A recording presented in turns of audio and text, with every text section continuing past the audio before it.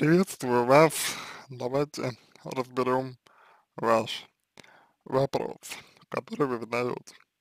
Встречаюсь с парнем три с половиной года. Цветы дарят только по праздникам, но я ему напрямую месяц, месяц э, говорила, что хочу цветы. Так и не получил.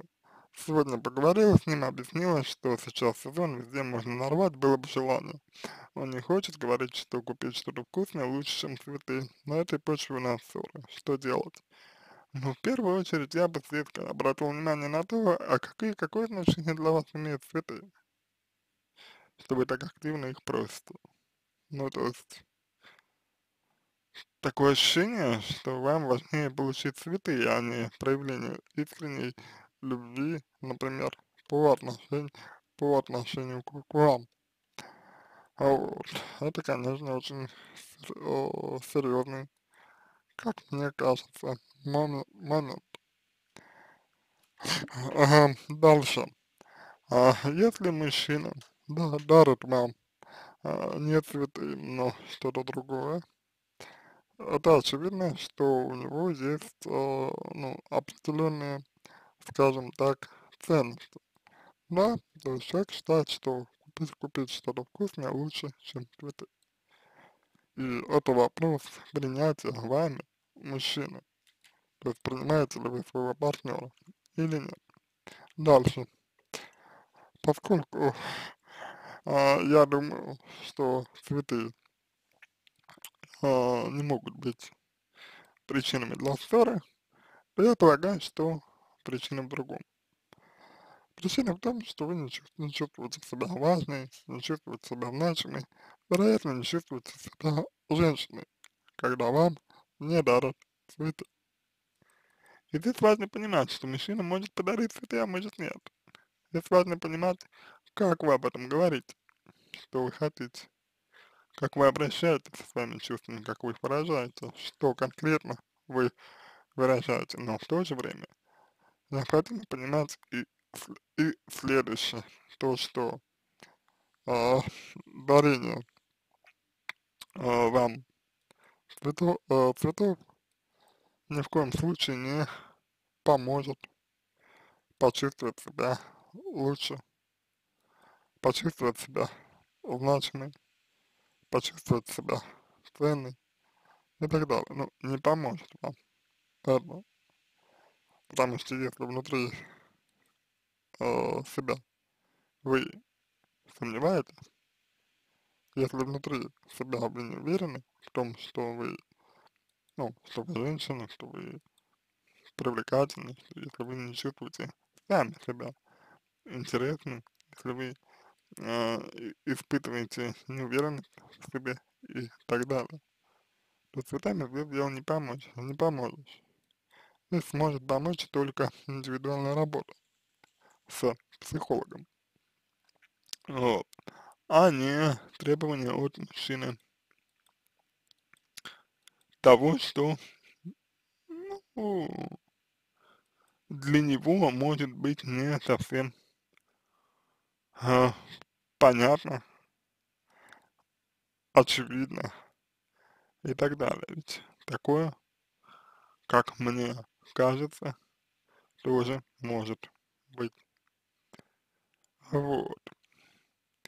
Значит, основных моментов, на которые я бы хотел обратить ваше внимание, несколько.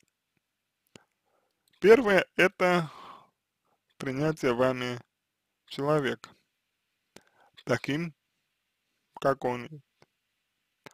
Второе – это это э, ваша потребность. То есть чего же я хочу в цветах. Третье. Это то, как я говорю о том, что мне нужно. Как я говорю о том, чего я хочу. Четвертое. Это ваш внутренний конфликт. То есть э, это то, как получается, что вам необходимо вот, э, ну, получить именно цветы. Как так? Вы, как так вот выходит, что вам нужны именно цветы?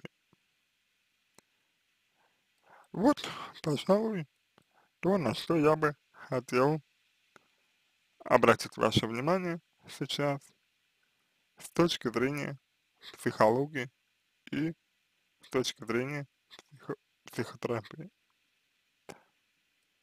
А, последний аспект, на который хочется а, заострить внимание, на котором хочется заострить внимание, это аспект а, запроса, то есть вы спрашиваете, как мне быть, а, как быть, чтобы, чтобы что, ну, хотите как-то быть, как быть, чтобы что, заставить мужчину дарить вам цветы, в себе разобраться, ну, в смысле, понять, что происходит, например, со мной, или что, чего вы хотите-то? Это один из, на мой взгляд, ключевых моментов. На этом все. Я надеюсь, что вам это было интересно. Надеюсь, что вам это было полезно. Я желаю вам всего самого доброго. А, я желаю вам удачи. Я буду благодарен за обратную связь по а, моему ответу. Это позволит вам начать над собой работу, конечно, если вы этого хотите, если вы в этом заинтересованы, пока я не знаю, в чем вы, в чем вы заинтересованы и чего вы хотите, но тем не менее.